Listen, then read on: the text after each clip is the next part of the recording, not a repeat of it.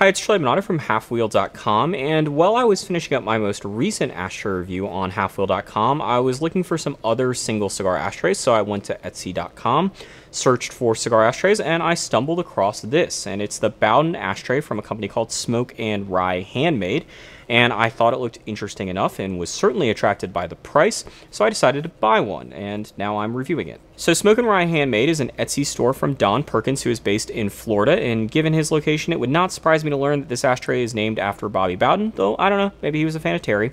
Um, and Don Perkins says that he not only designs all of these products that are sold on the Etsy store, but he also makes all of the products himself.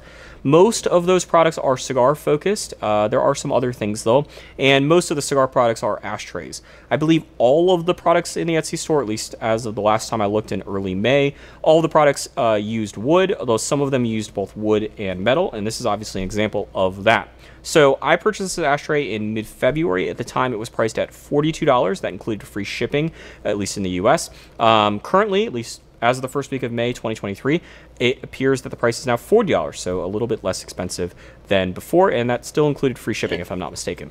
So as far as the specs go, uh, this ashtray is primarily made of teak. Uh, it does not appear to be sealed, although it is nice and smooth. Um, I can feel the wood grain, and uh, it has also absorbed the smell of cigars. So if I go to smell it, it smells like a very uh, used ashtray. Um, it smells like burnt cigar and ash which is not surprising given that it's made of wood.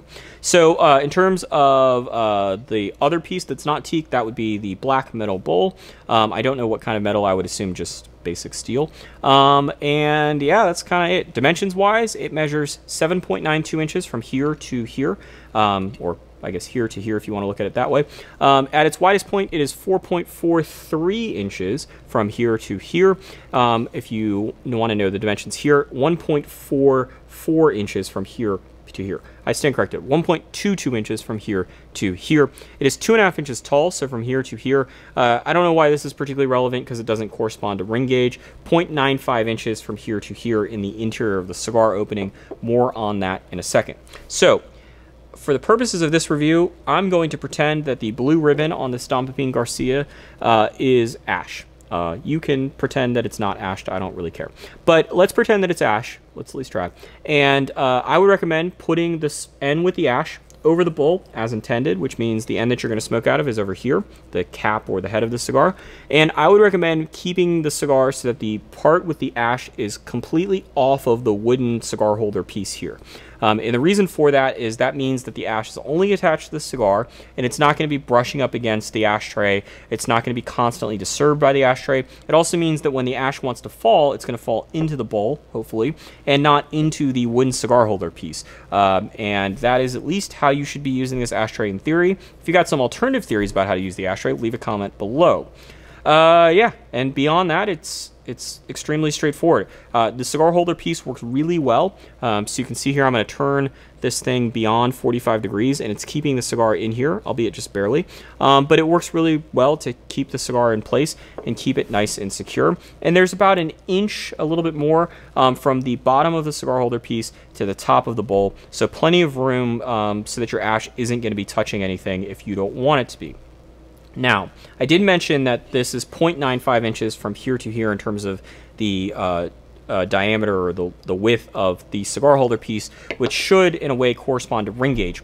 It doesn't, and that's because the cigar holder piece doesn't go like 50% up. It it's kind of stops uh, maybe like a third of uh, the circumference of a cigar. And so what that means is that despite not being an inch wide, it actually can fit a 64 ring gauge, so that would be an inch in diameter, thick cigar flush. Um, I can't see any light coming through on this uh, inch ringmaster. That is a 64 ring gauge cigar. That being said, on this 7x70 La Gloria Cubana, I can see some light coming through, though you'll note the cigar is firmly in place. It's not going anywhere. I mean, I can, obviously if I do this, it, it will fall off. But uh, it, it works really well for thicker cigars in terms of keeping the cigars in place. It also is going to work well with box press cigars um, and thinner ring gauge cigars, really, I, mean, unless you start getting into the comically large cigars, you're smoking Cro-Magnon femurs on a regular basis, this ashtray should hold the cigar in here uh, just fine. I didn't have any issues, although I think I kind of topped out at around a 6x60 in terms of the largest cigar I smoked uh, with this ashtray over the last two months. So now on to the pros and cons. I'm going to start with the good things. Number one is that it was a pleasure to use. The ashtray works as intended and it's it really just sort of checks all the right boxes for me. So um, I really like ashtrays where the ash is not going to be touching the ashtray, where it is undisturbed. Um, I find that it creates less mess or, um, than if the ash is constantly having to come in contact with the ashtray itself. Uh, that means not only like the ash falling off prematurely, but also like kind of chipping off um, and just creating a mess. So this works well in that regard. Um, the cigar holder works really, really well, and there are like some small sort of details here that really help um, make make things just a little bit better. Uh, for example, because it's wood and because the wood grain um, is exposed, uh, it means that there's a little bit more friction here. So the cigar is less likely to slide around. Obviously, you, you can slide it um, if you'd like, but uh, compared to glass or porcelain, um, the ability for the cigar to just roll off the ashtray, not going to happen here. Uh, number two, in terms of the pros list, uh, I really like the way that it looks. It is very mid-century modern looking, which is why I was gravitated towards it. Certainly not the name. Um, and I would say the like curve aspects here uh, are like a sneaky feature that make it a lot nicer than if it was just a, a rectangular, used a lot of rectangular shapes. So there's all these curves. So you can see a curve right here. This piece curves back up here. There's this curve here these curves here. Um, and it really kind of makes the ashtray more soothing, if that makes any sense, versus if it was super blocky. It also makes it a lot nicer to handle. Not that you're like going to be holding it like this as a display piece a lot of times, but um, this piece right here serves as an actual handle, and I find it a lot more comfortable um, back here than if it was uh, like squared off or rectangled off, um, because there's just no sharp edges or very few sharp edges for uh, my skin to come in contact with. Number three, in terms of the uh, the good things here, uh, the price. We purchased this ashtray in mid-February, it was $42 plus free shipping then. Uh, currently, as of the first week of May, it is $40 plus free shipping. So uh, just a, a, hell of a lot cheaper than the most recent ashtray reviews here at halfwheel, though I think all of them have been Davidoff ashtrays, so that probably explains some some things.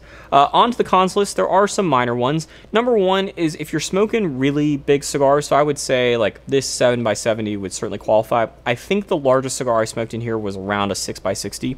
But if you're going to smoke a big cigar, uh, you should know that you're going to probably fill up the bowl. The bowl is pretty small and it cannot hold, uh, at least I would not think that it's going to be able to hold all of this cigar's ash comfortably. If you're smoking 8x80s, I would say it's definitely going to be an issue. You obviously can empty it out mid-cigar, but just know that that is something that's a, a likely possibility here with uh, how small the bowl is. Speaking of the bowl, um, I think a much larger concern for a wider group of people is that the bowl is super shallow, which means that if you're smoking in a windy environment, uh, this isn't going to be great because the ash is going to probably blow out of the ashtray's bowl, pretty easily. Number three is uh, the deep cleaning aspect here uh, is a bit more challenging. So daily cleaning is fine. I would recommend either just a, a dry cloth or rag or a damp cloth or rag, um, and you can clean the bowl. And there is going to be some ash that gets into the cigar holder, so uh, just be wary of that. But if you wanted to do a deep clean, it's tough. As I mentioned, the bowl is not removable, and there are some really small areas that I cannot get my fingers into and, and can't really get maybe a paper towel would fit, but certainly not like a cloth or a rag or most cloths would fit inside of there. Uh, the good news is compressed air will solve that problem, but I do wonder if a future revision of this ashtray can't have it where the there's like a magnet in the base and then the bowl attaches to the magnet and can just be taken off completely. That would make it a lot easier to do a more thorough cleaning and would also probably help make sure that, you know, the right cleaner is going on the right material. So at halfwheel, we conclude cigar accessory reviews with a question. Would the reviewer recommend purchasing the product that's being reviewed? In the case of Smoke and Rye Handmade's, the Bowden Ashtray, it goes like this. I'm almost considering using this ashtray going forward as my daily driver ashtray. That's how much I enjoyed this ashtray. I liked using it. I like the way it looks. I love the price point. Um, really, no complaints on my end other than some minor quibbles about cleaning it. But other than that, this was great. Uh, there are two caveats in terms of like the recommendation at large. Number one, if you're smoking outside in windy environments, I would not recommend this ashtray. Number two, if you're smoking large cigars, I would classify this as 7 by 70, 8 by 80, anything north of 6 by 60. Uh, this may not be for you just because of how small the bowl is. You're going to have to dump it out probably mid cigar, but you could do that um, without much issue, hopefully, I think. Um, but other than that, uh, yeah, totally recommend buying it. You know, can't say enough nice things about this ashtray. It, has been great, and I look forward to keep using it, whether on a daily basis or occasionally from time to time. For a written review that I've written with more pictures, or with pictures, I guess, uh, you can check out halfwheel.com, where there are also other cigar accessory reviews, including other ashtrays, cigar lighters, cutters, and humidors. We also do near daily reviews of cigars themselves, as well as daily coverage of everything that is happening in the cigar industry. Once again, all of that at halfwheel.com.